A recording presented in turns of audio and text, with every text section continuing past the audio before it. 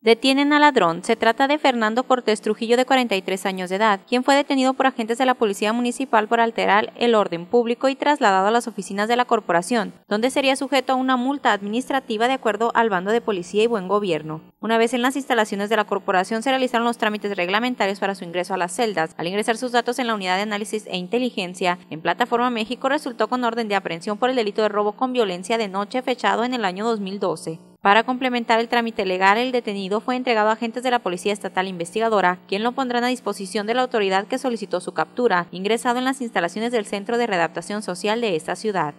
Para Abson TV Noticias, Alejandra Ibarra.